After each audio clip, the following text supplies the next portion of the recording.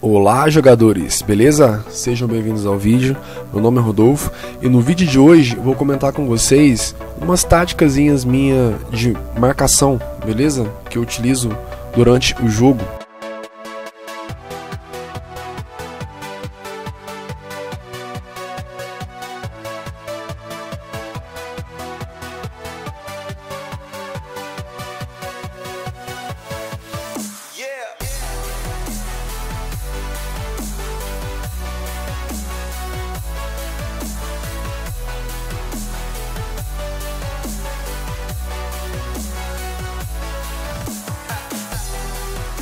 Cara, às vezes não dá mesmo pra eu fazer um vídeo sobre todo comentário, sobre todo conteúdo, assim, que às vezes até prometo de fazer e acaba que não dá tempo ou eu esqueço.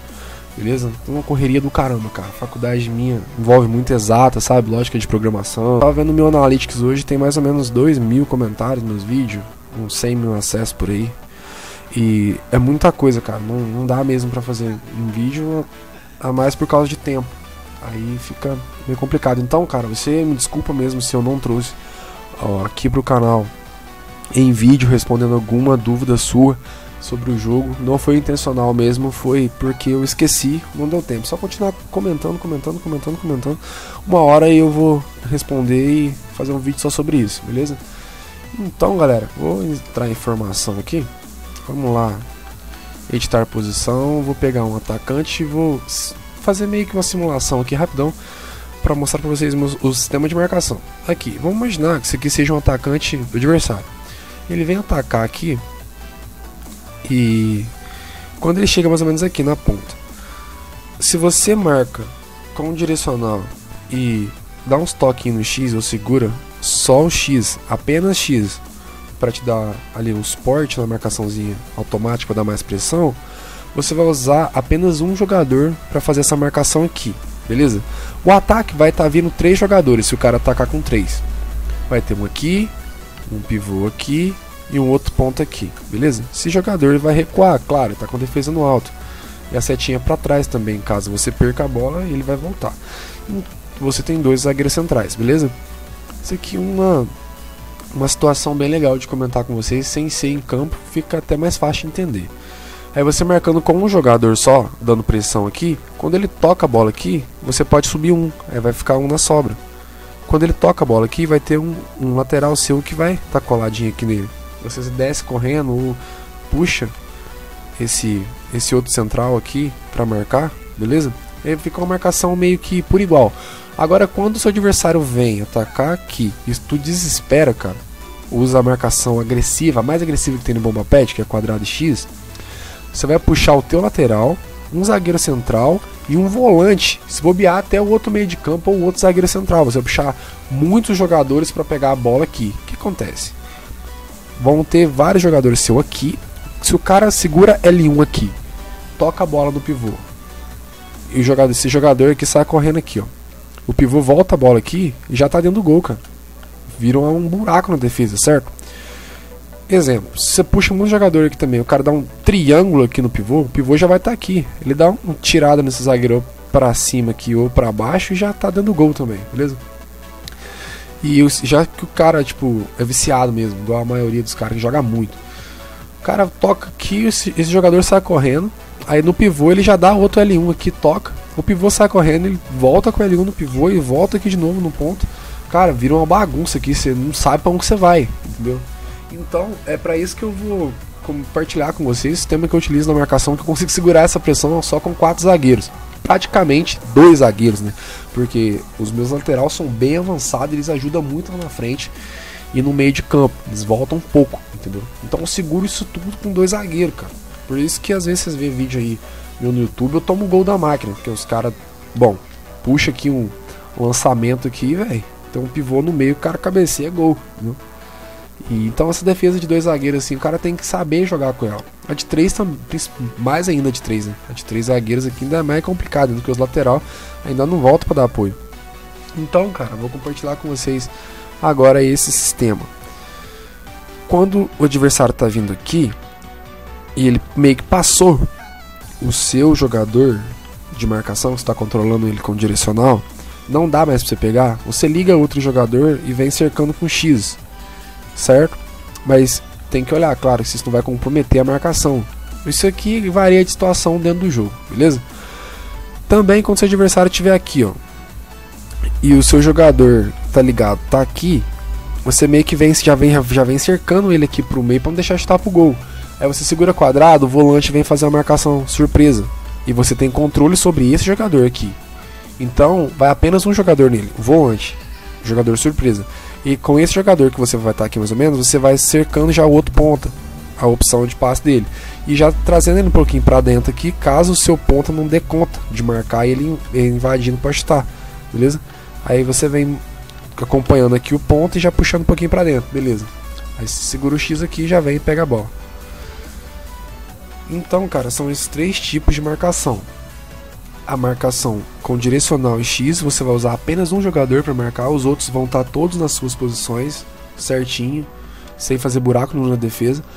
A marcação surpresa, utilizando apenas o quadrado, você pega o jogador que você está é, controlando aqui, ó, e segura quadrado, vai vir um jogador surpresa só marcar aí.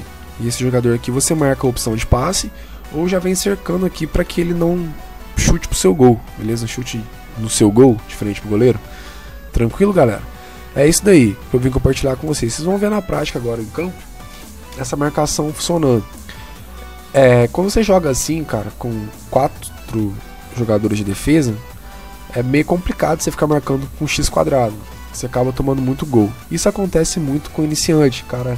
Começou a jogar tanto bomba pet, tanto pés, o cara vai puxando dois, dois, dois ou mais marcadores ali e o cara que sabe tocar bola, véio, o cara que sabe criar jogada, o cara vai criar mesmo e vai te aplicar uma goleada, beleza? E espero que isso não aconteça a partir de hoje. Vocês estão aqui na minha plataforma, vocês têm que ouvir o que eu estou falando. Já é? Vamos lá então. Marcação apenas com X e segura quadrado. Tem algumas situações que segura X quadrado, velho. Aquela situação que já não dá mais. Que já, o cara já vai chutar pro gol mesmo, já tá quase dentro do gol. Não tem o que fazer mais aí. Você segura o X quadrado, aí vamos lá. Ah, já puxei um, no quadrado só, beleza? Peguei a bola. Os zagueiros estão bem atrás, bem posicionado.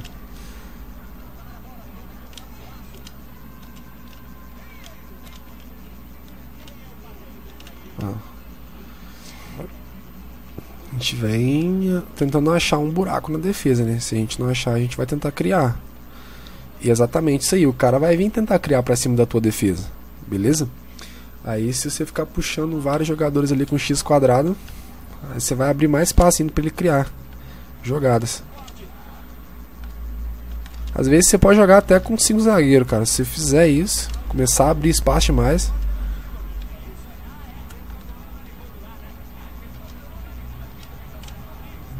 Nossa, chute horrível. Vamos lá, marcaçãozinha de boa, suave, só um jogadorzinho mesmo, pouca pressão, é, só um. Os jogadores ficam todos posicionados. E quem joga assim, ó, com todos com defesa no alto, o time vai voltando.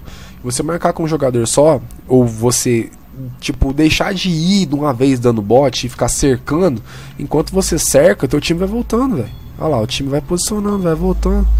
Até encurralar teu adversário, viu? Peguei a bola. Não tem segredo, galera. Só não pode apavorar na hora de marcar aqui. Que isso aqui é um. É uma coisa que muito importante você prestar atenção, cara. Se você não prestar atenção nisso daqui, às vezes você acaba perdendo a partida por causa disso. Você começa perdendo por 1 a 0 ali, começa a querer botar pressão, né? Marcar com um x quadrado e abre mais espaço indo o adversário criar. Beleza?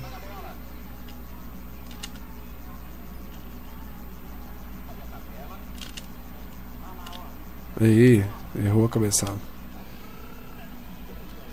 Acho que não dava pra chegar nela também, não? Tá, tá bem na frente.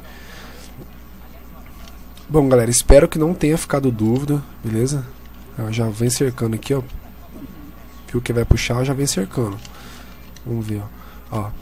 Aqui, ó, o jogador não invadir, mano, pra chutar no canto do goleiro. Se invadir também, você tira o goleiro. Aí, ó, eu já vim já vim com o jogador aqui, ó. Pra subir a marcação. Porque eu sei, sabia que ele ia voltar pra cima. Aí você vem antecipando a marcação. Com um jogador só, não precisa puxar vários jogadores não que. Que é foda. Vamos lá. E é legal também você fazer isso aqui, ó. às vezes você puxa o jogador com o quadrado. E na hora que ele pensa no homem, você dá um toquinho no L1, liga ele. Eita, falta.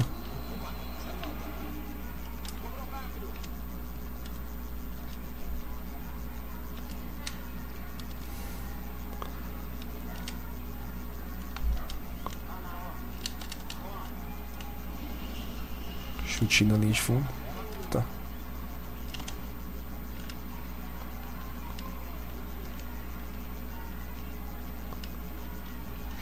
Bom, galera, esse foi o vídeo de hoje.